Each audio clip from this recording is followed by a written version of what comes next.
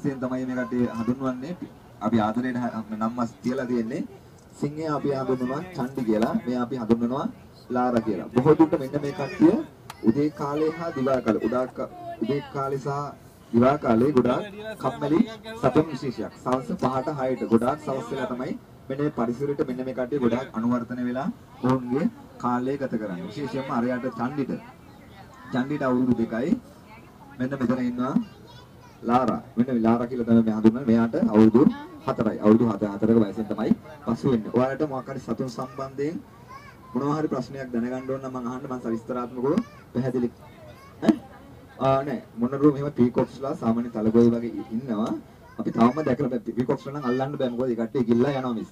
මොකද අනිත් කට්ටිය නම් අපි මේ කට්ටිය දඩයන් කරනවා අපි දැකලා නෑ. ඒකනේ හේතුව තමයි අපි කෝඩු වලත් හදද්දී මේ කට්ටියට කෑම ලබා දුන්නා. දැන් මේ කලාපෙත් අපි දිනපතාම කෑම ලබා දෙනවා.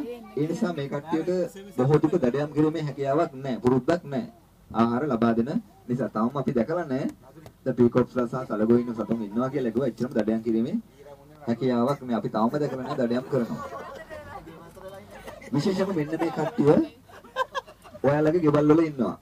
මේ සිංහයෝ කියන කට්ටිය ඔයාලගේ ගෙවල් වල ඉන්නවා. නමුත් දන්නේ නැහැ හරියටම සිංහයාද කියන එක තමයි ප්‍රශ්නේ. මෙන්න මේ කට්ටිය අයිති වෙන්නේ බිලාල. ඒ කියන්නේ බිලාල කියන කුලයට තමයි මෙන්න මේ සිංහයෝ අයිති වෙන්නේ. මෙන්න මේ සිංහයන්ගේ කුඩාම සතා. කුඩාම සතා තමයි අපි ගෙවල් වල ඇති කරන පූස් පැටියා. සිංහයාගේ පොඩිම පැටි පොඩිම සතා තමයි පූස් පැටියා. ලොකුම එක්කිනා තමයි සිංහයා. පූස් පැටියා, වල් බල්ලා, සතුන් දුවියා. ඔන්න ඔය සතුන් බිලාල කියන කුලයට තමයි අයිති සතුන්. විශේෂයෙන්ම ලෝකේ ලෝකයේ සිංහයෝ දැක බලා ගන්න පුළුවන් එකම ස්ථාන දෙකයි තියෙන්නේ අද ස්ටෝරි ලංකාවේදී සිංහයෝ දැක බලා ගන්න පුළුවන් ස්ථාන දෙකයි තියෙන්නේ දෙහිවල සහ මෙන්න මේ රිදියගම සපාරි උද්‍යානයේ පමණයි. ලංකාවේ වෙනත් කිසිදු ස්ථානයක ඔබට සිංහයෝ දැකලා දැක බලා ගැනීමේ හැකියාවක් නැහැ. ඈත අතීතයේ නම් සිංහරාජය සිංහරාජ අඩවිවල සිංහයෝ හිටියා කියලා ජනප්‍රවාදයේ සඳහන් වෙනවා. නමුත් මිනිසුන්ගේ විවිධ ක්‍රියාකලාපයන් නිසා ඔන්න සිංහයෝ අද බොහෝ දුරට අඩු වෙලා. ඒ කියන්නේ මිනිසුන්ගේ අඩු වෙලා තමයි අද ලෝකේ ඔබට දැක බලා ගන්න සිංහයන් කියන විශේෂය.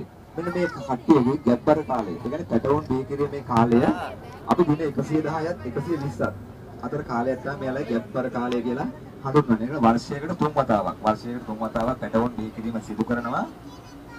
සාමාන්‍ය එකවර අපි දැකලා තියෙන්නේ පැටවුන් පස් දෙනෙක්. පැටවුන් පස් දෙනෙක් තමයි බිහි කරලා තියෙන්නේ එකවර. මෙන්න මේ කලාපයේ විශේෂම දෙපැත්ත නිරීක්ෂණය කරගෙන මොකද වැඩිම ගෝම් ප්‍රමාණයක් තියෙන නිසා නිශ්චිතව කියන්න බෑ කොයි ස්ථානයේ කොයි ඉරියව්වෙන් නැගලා ඉන්නවද කියලා. හේතුව භූමි ප්‍රමාණය වැඩි නිසා. මොකද දෙපැත්ත නිරීක්ෂණය කරගෙන යන්න සමහර වෙලාවට අපිට දැක් ගන්නත් පුළුවන් සමහර වෙලාවට නොදැක ගන්නත් පුළුවන්. විශේෂයෙන් මෙන්න මේ කලාපේ මම සිංහයන් සඳහා පමණයි වෙන් කරලා තියෙන්නේ. අපි පළවෙනි අධීරේ. ඒ කියන්නේ හතර දිනක් අද දින නිදහස් කරේ.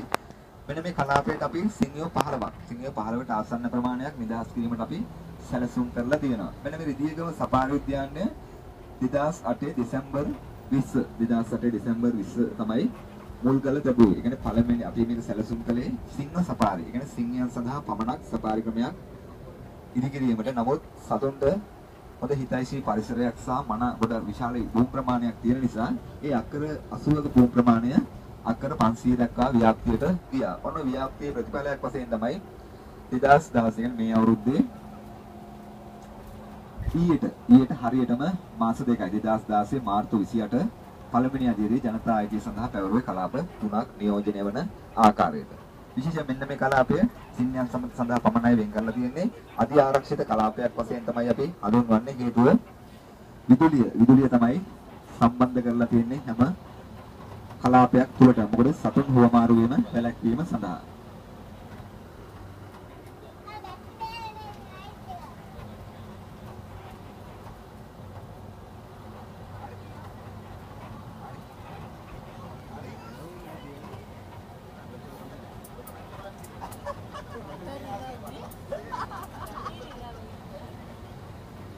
అంటే రిలే వెక్ రిలే వెక్